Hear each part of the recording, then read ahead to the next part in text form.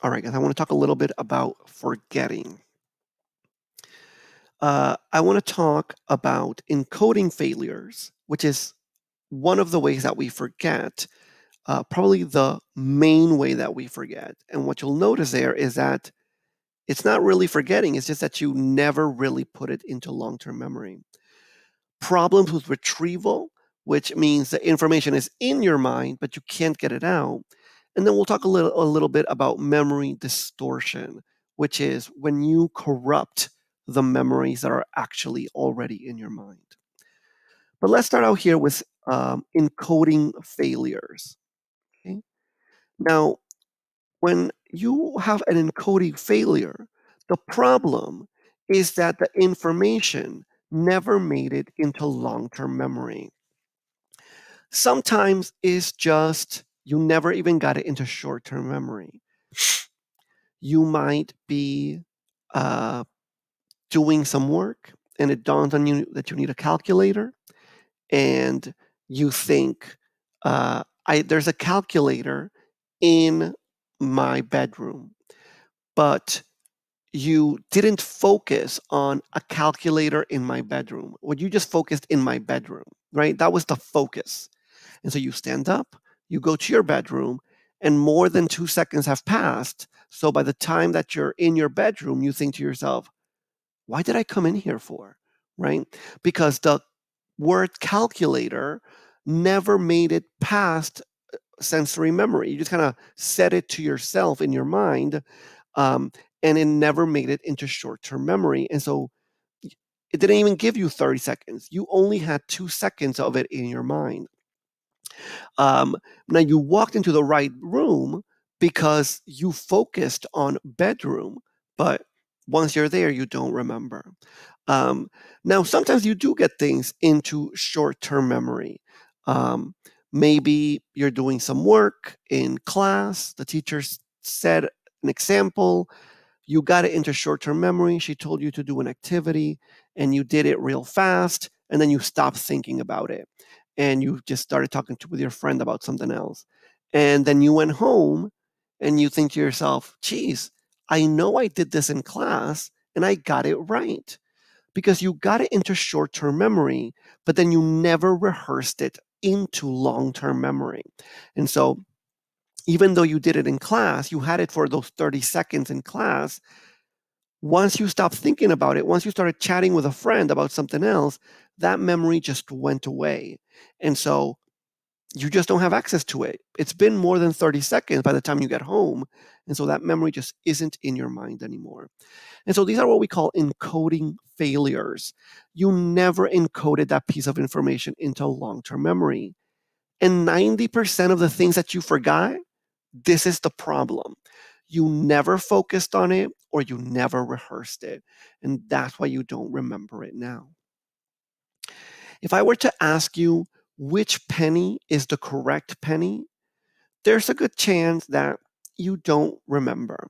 Um, you might remember some things about a penny that it's a copper color or that it's one cent. Maybe that Abraham Lincoln is on the penny. But most of us don't really focus or rehearse the minutia of the penny, all the extra little things on the penny. And so we might remember that it says one cent, but we forget that it says one cent on the back and not on the front. And maybe we forget, we know that Abraham Lincoln is on it, but we don't know which way he's facing. And so, um, just in case you're interested in the actual answer, it is A. Um, uh, this is why sometimes somebody gives you a Canadian penny and you just move on. You don't even think about it because it you are only looking for the size and color and most of us are not really looking for anything else the things that are encoded in our long-term memory is the size and the color maybe the amount the value one cent and all the other stuff we might know one thing is there or the other but most of that stuff we really have never focused on or we've never really rehearsed Now, sometimes the problem isn't an encoding failure, it's retrieval. We we don't know how to pull it out of long term memory. The memory is there, but when we try to pull it out, something is blocking us. And I want to talk about a little bit more than a handful of the theories here. Now, one of these things is called a tip of the tongue phenomenon. And this is when you kind of remember that you know the answer, but you can't pull it out. And you might say, What is that girl's name? The girl who works in uh, in in my office. I know that I know her. I know that I know her name. Ah, it's on the tip of my tongue, but I just can't pull it out. Now it could be that you're wrong and that you don't know her name. That that memory is was never encoded in long-term memory. That is a possibility. But every once in a while, you're driving home and you go, Susan, that was her name. So it was definitely in there, but you couldn't pull it out at the right moment. So, what's happening there? Well, let's say you know her name, and the way you learned her name was at one time that there was a a party in the office and they had cake and you you know the it was in the lounge and it was Todd's birthday and somebody dropped some coffee and Mike made that one joke that you liked or didn't like, and um, you've made all of these connections. And in that party, you met Susan, and she told you her name. If you could get to any of these memories, you would probably get to Susan. If you remembered Todd's birthday, or the coffee falling, or Mike's joke, any of those memories might get you to Susan's names because these are all in a network in your brain. And getting to one will help you get to the other. But the problem is, you don't really know Susan very well. And what you really remember about her is that she's kind of loud and she always wears those weird skirts and she works in HR and she is always angry about something and you always run away from her. And uh, again, uh, you never want to go to HR because she's like always there. And if you got stuck in this loop, in this network, well, this network is never going to get you to Susan because none of these ideas get you to the name Susan where you recorded it in your brain. And so you might go, oh, she's in HR. Oh my gosh, she's so loud. And I always run away from her. And she's always wearing the skirt, right? And you kind of go over these memories over and over and over, and they none of them ever get you to Susan. On the way home, for whatever reason, you triggered the right memory, and now, oh, Susan, that was her name, Susan. So now, the better you know Susan, the more you're likely to connect these two networks. Um, and so any one of them will get you to Susan. But uh, right now, because you don't know her very well, you have two separate networks in your brain. And so one of them gets you to her name and the other one does not. Okay. Now I want to talk a little bit about uh, the primacy effect and the recency effect. Um, again, these are these both create problems in retrieval. The primacy effect suggests that anything that you learn at the beginning of an event, you tend to remember that well. Why? Because you have time to rehearse it, you have time to think about it and get it inside your long term memory. And so things that you learned first tend to be things that you remember later. And the recency effect also means that uh, the things that you remembered or that you went over most recently those things you're likely to remember. Why? Because you just learned them and they're just in your short term memory or you just got them into long term memory. And so they're easier to remember. What these two, when you put them together, these two theories, what they suggest is that the stuff in the middle, those things are hard to remember. So if you have a long class that um, you you go to a class that lasts uh, two hours or three hours, The stuff that you learn in the middle, that stuff tends to be hard to remember. And so you should probably take time to study that a lot more when you get home because those are going to be the things that you're going to forget right away. Whereas the things in the beginning and the things towards the end, they stay a little bit more fresh in your mind.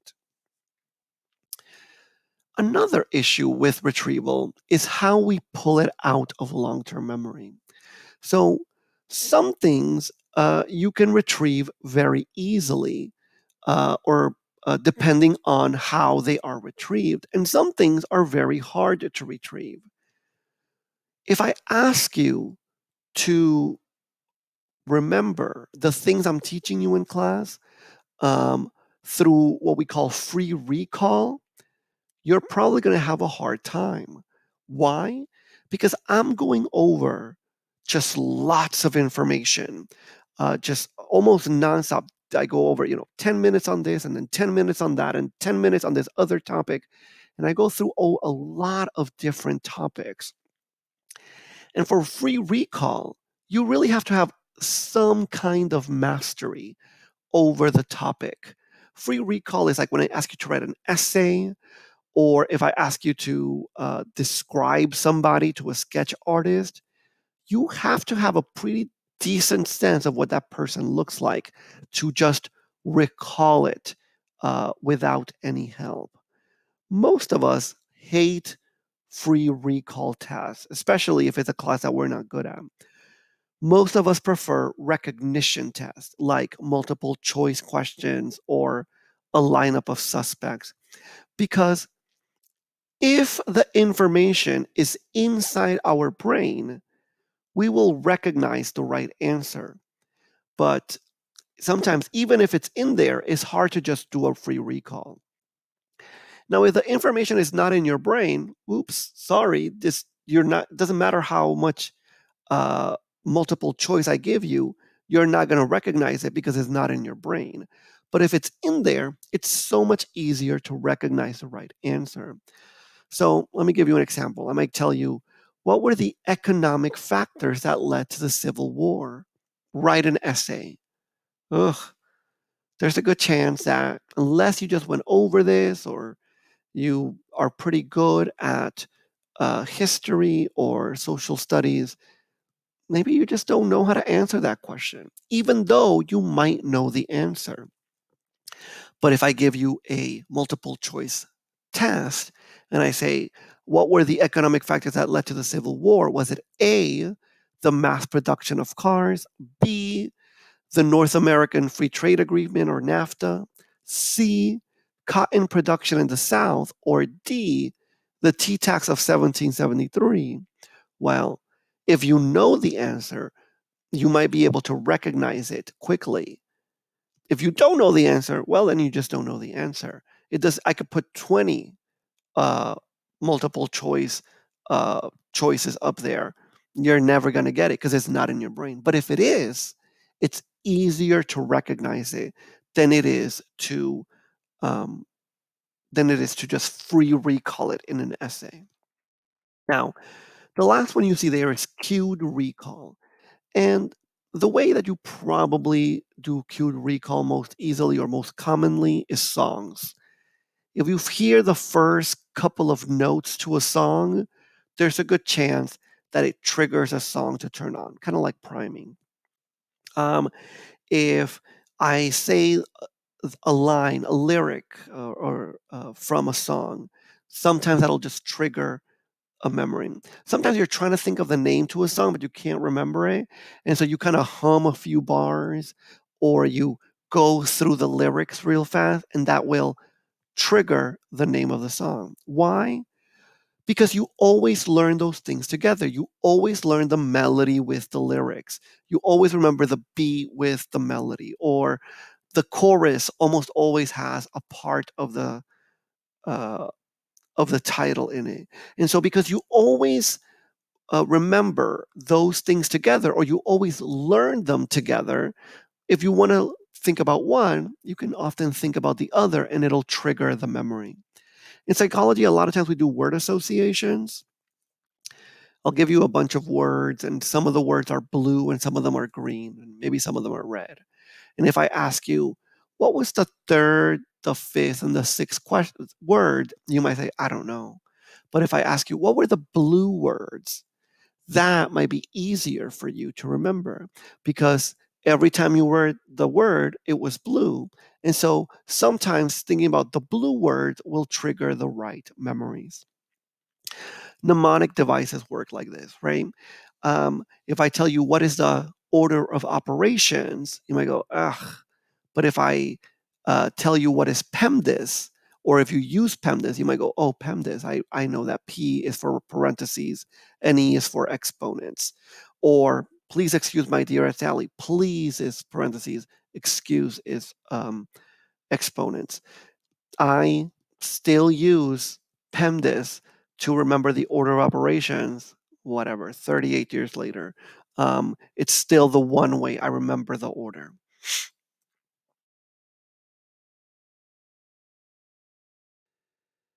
Now, another issue with uh, memory and uh, how clear a memory is, uh, we call encoding specificity.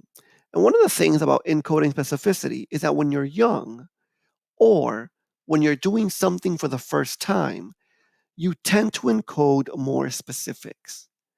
If I were to ask you about your summers when you were in middle school, there's a good chance you have incredible memories about that.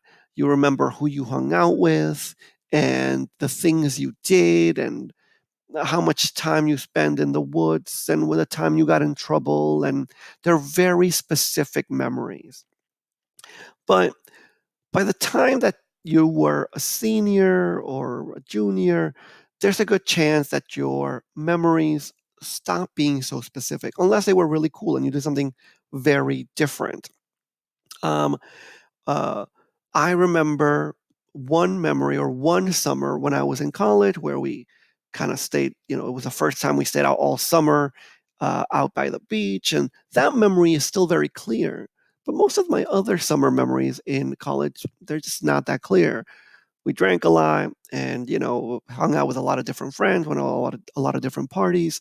Um, they're just kind of bunched up and i just kind of remember chunks of things like we went to parties yeah and i remember a little bit of this party and a little bit of that party and if you ask me did this happen in this party or did it happen in that other party? I'm like i don't i don't remember. It was a bunch of different parties. Um, because as you get older you stop trying to remember everything by uh, every you know you stop trying to encode memories chunk by chunk or piece by piece and you just kind of start to encode just general things parties that i went to or you know vacations that i went to um, and so they stop being so specific and the older you get the less specific your memories tend to be. Again unless it's something that's very different. Now, memories that are very different, sometimes we store as flashbulb memories. And these are memories that are incredibly specific. Even though you're older, they're incredibly specific. And they tend to be about um, important times or very traumatic times in your life. And so you're going to remember weddings, important birthdays, um, things like that, funerals, especially if it's the first funeral you went to or the funeral of someone you loved a great deal. Um, those memories tend to be flashbulb memories, and they are very crisp and clean. And even years later, you might say things like, I remember that like if it was yesterday.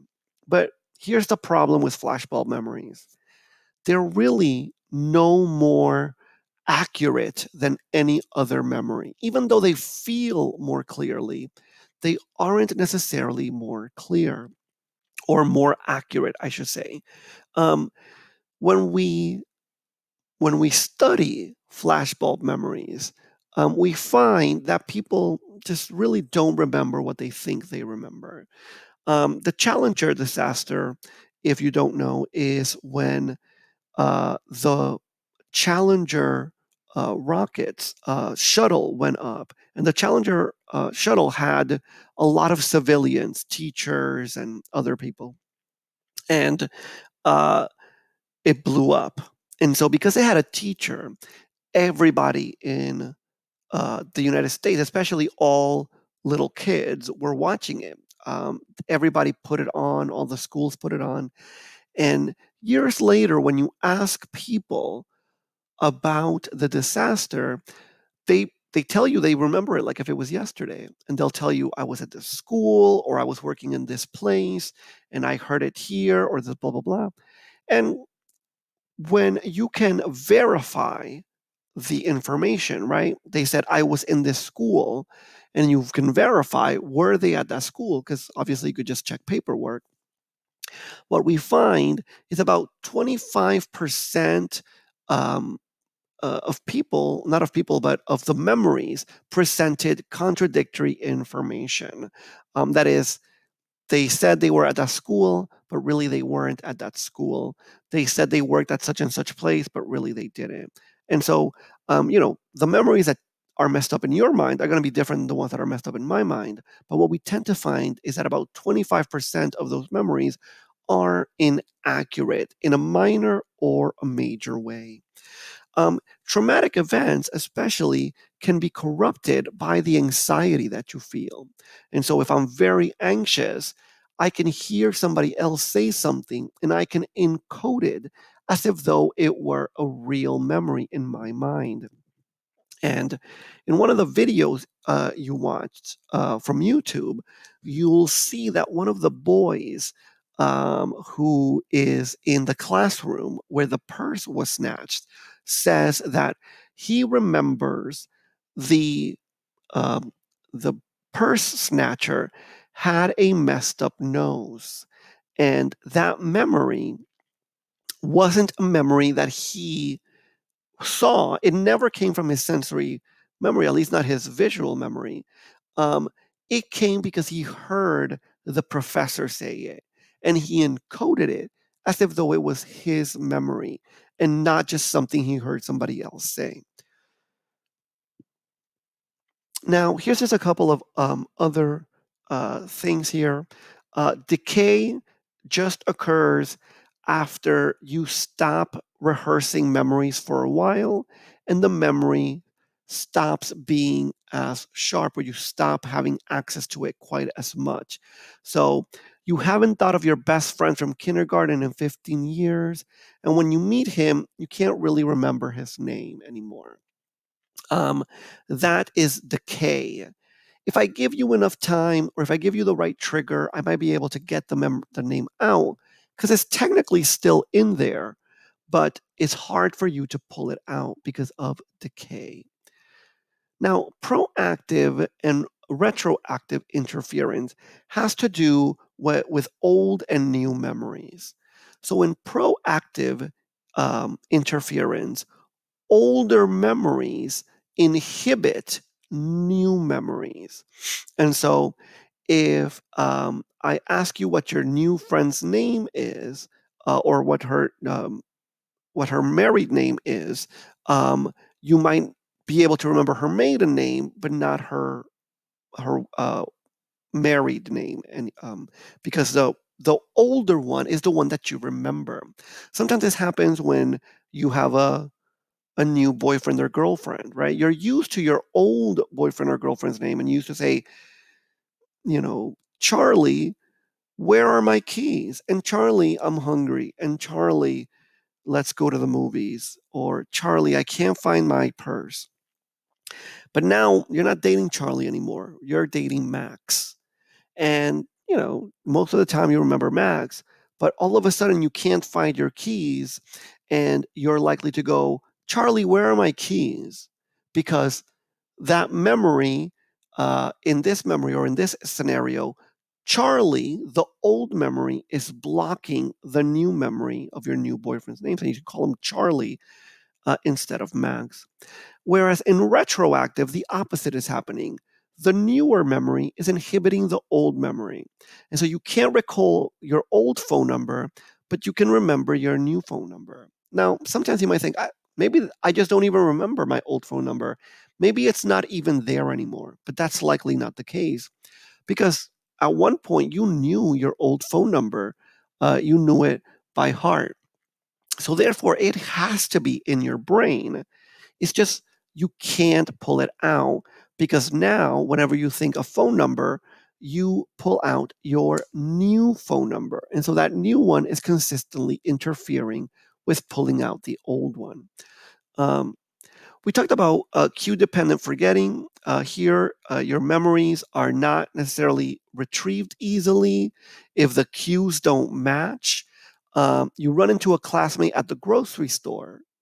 You'll know his name in classroom, but at the grocery store, you can't remember his name because something about the um, classroom primes you to the name in the grocery store, there's nothing to prime you to the name. I'll be honest with you, when I'm learning my students' names, I often remember it by where they're sitting in the classroom. And so if they're sitting in the correct seat, I tend to remember their name. But if they stand up after class, I often have to look at where they're sitting and then I can remember their name. Uh, but if I don't, if I don't look or if I can't remember where they're sitting, then I forget their name entirely because the memory is cue dependent. Now, repression and motivated forgetting are very similar, but they're just slightly different.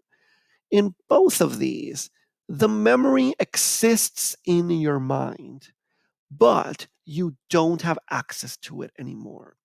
Now, in repression, the reason you don't have access to it anymore is because the rest of your brain said, nope, you can't have access to this memory anymore. Your brain decided without you that you don't have access to this memory. Usually, this memory has, is traumatic. Maybe you saw someone get shot, and now you've repressed the memory. And in some cases, you might not even remember seeing someone get shot if the repression is very deep. Um, but maybe you do remember that this person was shot. You just can't really remember how it happened, right?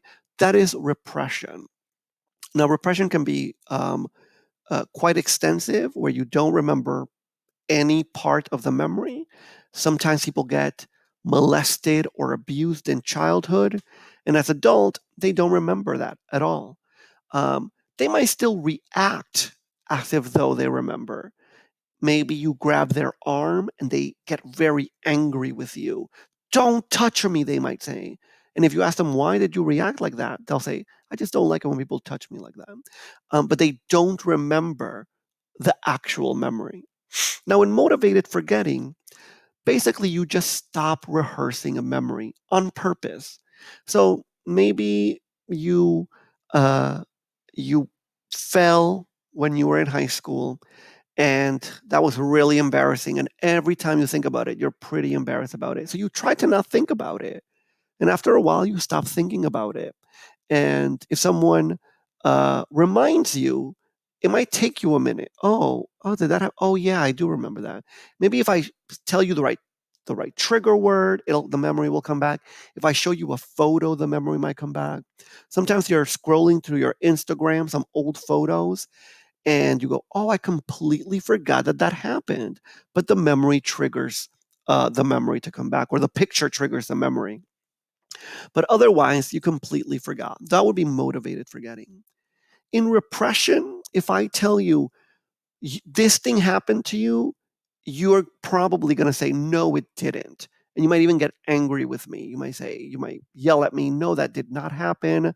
I've never gone through something like that because it's your brain that's trying to protect you from the memory. So when I remind you of it, your brain might push you to continue to not rehearse the memory. And you might actually get angry with me uh, just so that you don't have to relive that memory again.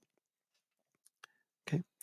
Now, let me talk very quickly about memory distortions. Sometimes um, you remember something, but you remember it incorrectly people sometimes think that their memory is like a digital camera, but it's not. If you take out your phone and you record an event, when you press play, that video is going to play exactly the way it played the first time it happened. Memory isn't like that. Remember, remember that memory um, uh, is going to include only the things that you focused on. And so anything that you didn't focus on just isn't inside your memory.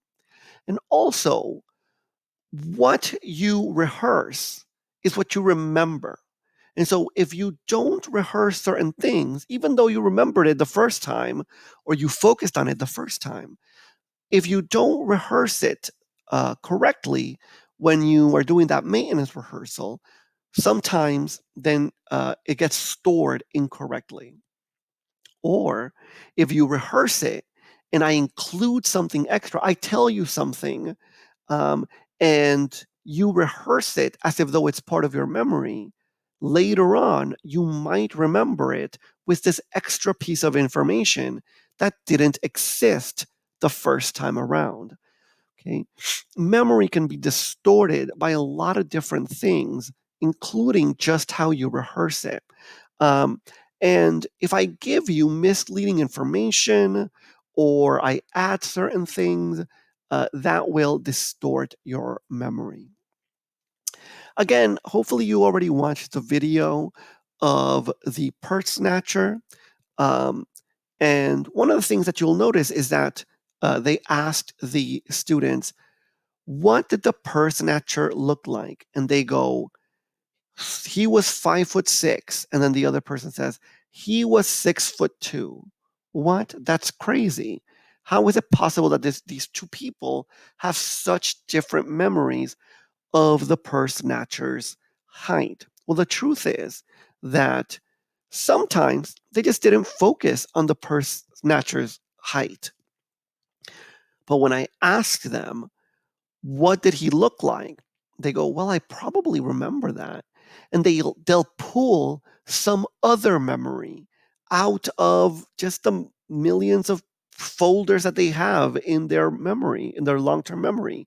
They pull something at random.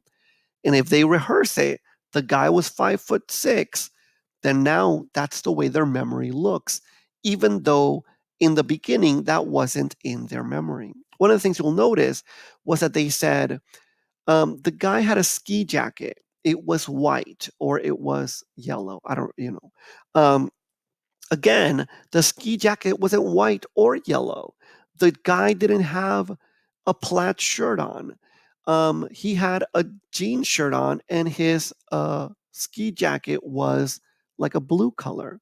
Um, so, why did these people make that up? Well, they didn't. What happened was that they saw the ski jacket, they uh, rehearsed ski jacket, but they never rehearsed the color scheme.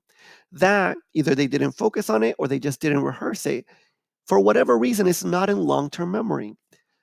But for most people, if you ask them, well, I remember that I had a ski jacket. What color was it? Most of us go, gee, I have to remember the color because I remember seeing the ski jacket. And so what they do they open some random folder in their brain. And maybe that folder is just a ski jacket they saw, you know, on vacation or in a catalog when they were little. And they go, yeah, white ski jacket, because that's the one I'm seeing in my mind. They're not lying, right? They think they're telling you what the ski jacket looked like because that's what they're seeing in their mind right this second. I would like to point out that oftentimes um, racism, prejudices have this mechanism, right? People don't focus on the right things. And then later, when I ask them, what did the guy look like who robbed the store? They open up a random folder. And unfortunately, that random folder has some racist aspect to it.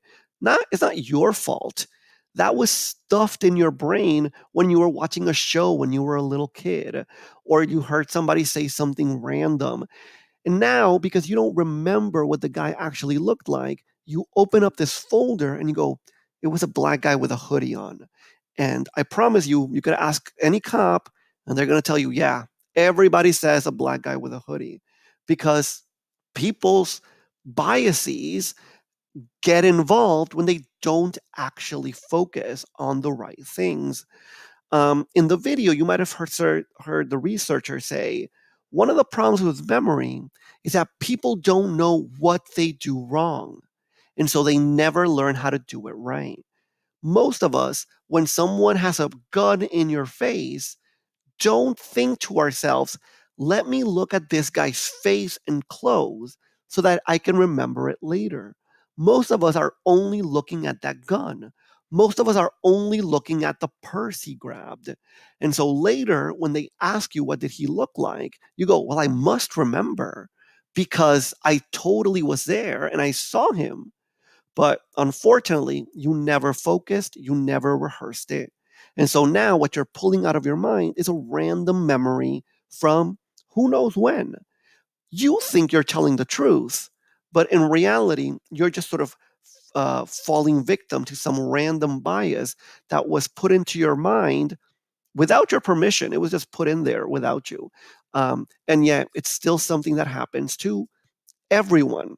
Um, uh, we're all uh, capable of these biases because we all have the same problems with our memories. Um, again, when we talk about eyewitness testimony, this is one of the biggest problems. Psychologists hate the fact that the uh, legal system depends so heavily on eyewitness testimonies because eyewitnesses consistently make um, mistakes that are uh, almost predictable.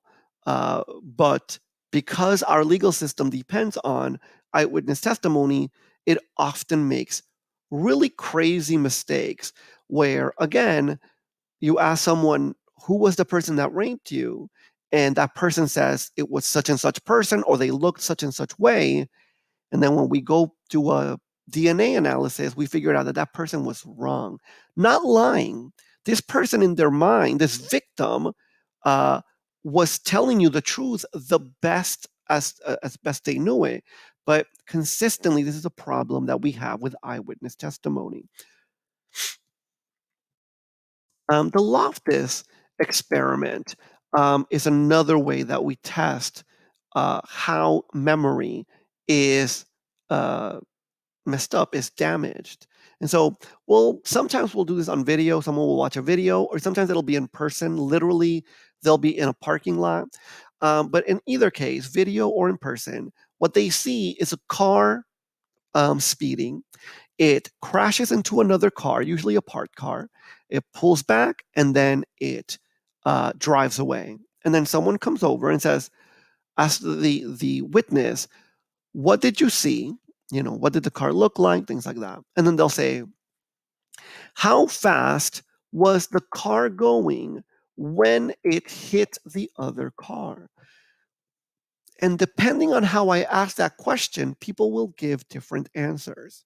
So if I say, How fast was this car going when it smashed into the other car? People tend to say a higher miles per hour. But if I say, How fast was the car going when it made contact with the other car? People are likelier to give a lower miles per hour. No one does this on purpose. No one says, if the cop says smashed, I'll say 41. If the cop says made contact, I'll say 32. But the word that the cop uses to ask this question will prime your memory. And sometimes it'll prime it to go faster or to go slower. And now you've rehearsed the memory in this specific way, and you have completely altered your memory um, uh, from the first time that you actually saw the events. This is Elizabeth Loftus, and it's important to point out that um, some people to this day send death threats to Elizabeth Loftus. Unfortunately, when she first started um, studying false memories, she started studying uh, with a specific group, and specifically, the group was people who had recovered memories of child abuse. And people do have recovered memories, right? Sometimes you're looking through photos and you remember something that you hadn't remembered in a long time. Oh, I remember this photo. Wow, I completely forgot about it. So, uh, recovered memories are real. And obviously, you can recover memories of abuse if you have repressed it at some point. But what Elizabeth Loftus points out is that there is no way to determine the difference between a false memory implanted in a person and a real memory that is recovered. How does she do this? Well, there's a lot of different studies, but this is one of them. Uh, she'll have people come in, and usually they'll come in with, like, I don't know, a couple of um, family members. And each family member is asked to write a memory that they have about you. And then they'll give you all the memories and they'll have you read the memories and they'll ask you whether or not you remember or not. One of the memories they give you, however, is completely made up. It's usually about uh, being lost in a uh, mall and you know who you saw there or didn't see there, etc.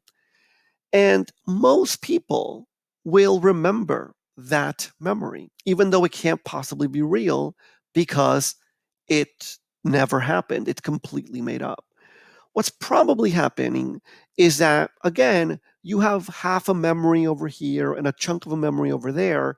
And so you just kind of put them together with the narrative that you're reading, and you just make up a brand new memory that didn't exist 10 seconds ago.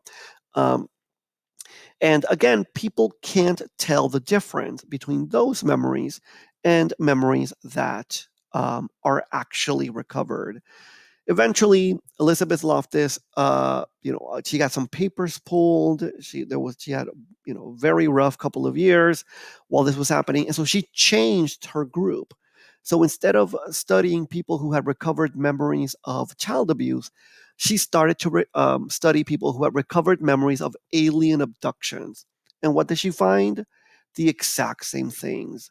Um, and so, uh, unfortunately, you know, people thought that she was saying that everyone who had recovered memories of child abuse was lying. That's not what she was saying. The point that she's making is that there's no way to determine the difference between a false memory and a real memory that was recovered. And unless you have other evidence to back up what um, what the person is remembering, it, you know, it really uh, isn't enough to let's say convict somebody on that because there is no way to tell the difference. Um, I'll let you read about that. Okay, uh, guys, that is the end of chapter seven. Um, and if you have any questions, please let me know. Send me an email, um, and I will do my best to answer those questions, whether it's a study packet or the MindTaps um, or anything like that. Uh, just send me a quick email. Again, I can't wait to hear from you, and uh, have a good one.